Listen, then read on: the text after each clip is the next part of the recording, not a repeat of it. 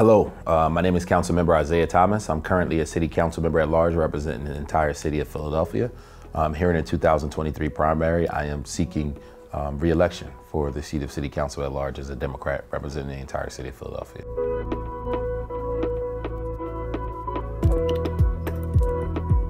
The Orange Line. Um, I live near Fern Rock, and my son, we um, we are sports fans, so the Orange Line, 100%. The subway, for those who don't know what the Orange Line is. i probably say Fairmount Park, right? Um, because of the nuances of so many different things to do there. I'm a softball guy. I also love beautiful uh, views and images. You got a great view of the skyline in the city of Philadelphia. Uh, so that would probably be my, my instinctive guess, but I'm sure someone's going to be mad at that response because we got so many great green spaces in the city. No pets. I can say that right now. Children, I have three. I can't give you a favorite because somebody would be mad at that. And I love all my children equal. Uh, my oldest son is 10. My uh, second child, Isaac Quincy, is uh, two. My oldest is Isaiah Jr.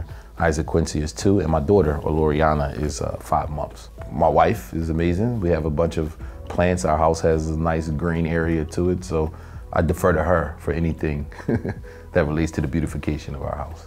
Mm, I say two things. I think the first is having a good group of people around me that can help assure that I stay on track, uh, whether it's my campaign staff, uh, my coaching staff. I still coach high school sports, whether it's my official city council side or my family.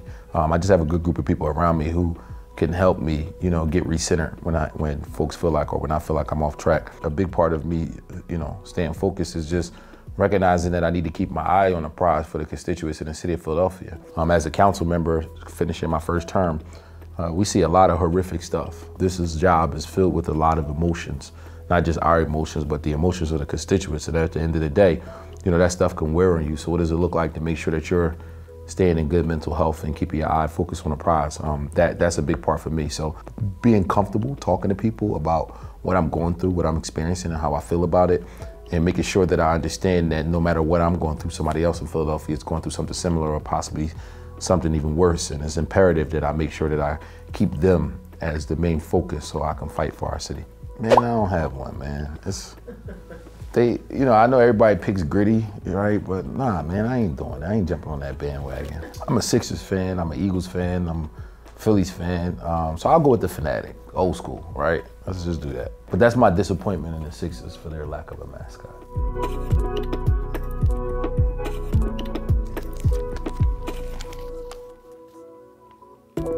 Um, so first and foremost, when you look at crime in the city of Philadelphia, it's a number of issues that have put us in a position to be able to uh, see the crime that we're seeing. Some things we can't control as city council members, like raising the minimum wage or issues around ghost guns, but there are some things that we can control. Uh, so first thing is from a legislative perspective, making sure that we put more money into schools than what we've seen in recent history. I think a big investment into schools as well as into prevention-based initiatives will put us in a position where we're making sure young people's time is occupied in a positive way. We also have issues around trash and dumping in the city that kind of indirectly propels the violence that we see in the city. Uh, so I introduced the Citizens Watchdog Bill that will activate constituents across the city of Philadelphia to try to incentivize them to begin to help reporting illegal dumping and addressing other issues as it relates to nuisance crime in the city of Philadelphia. Um, if reelected in May, I'm hoping to pass this bill into law and put a system in place that will begin to uh, offer a number of solutions as it relates to some of the crime that we're seeing in the city.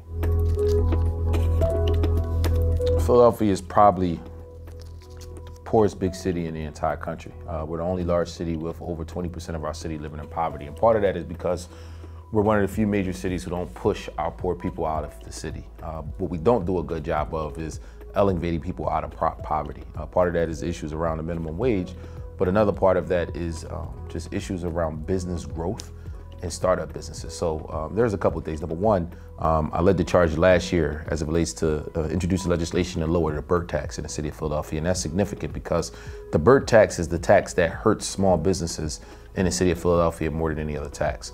Um, I also uh, put us in a position to begin to attract new industries to the city of Philadelphia. Everybody knows Philly for our eds, meds, and beds. We're great with hospitality.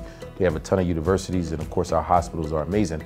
But um, outside of that, we need more industries. We see a growing biotech industry happening in West Philadelphia, and one of the things that I've been trying to do is attract new industries to Philadelphia. Uh, we had a huge gaming festival um, a little while back that we feel like can help put us in a position to attract and make Philadelphia a gaming city. We have a lot of other festivals and initiatives. I invested significantly in the arts and culture space, and I plan to do all those things moving forward to help grow the economy, uh, specifically supporting uh, small black and brown businesses as well as other entrepreneurs and sole proprietorships.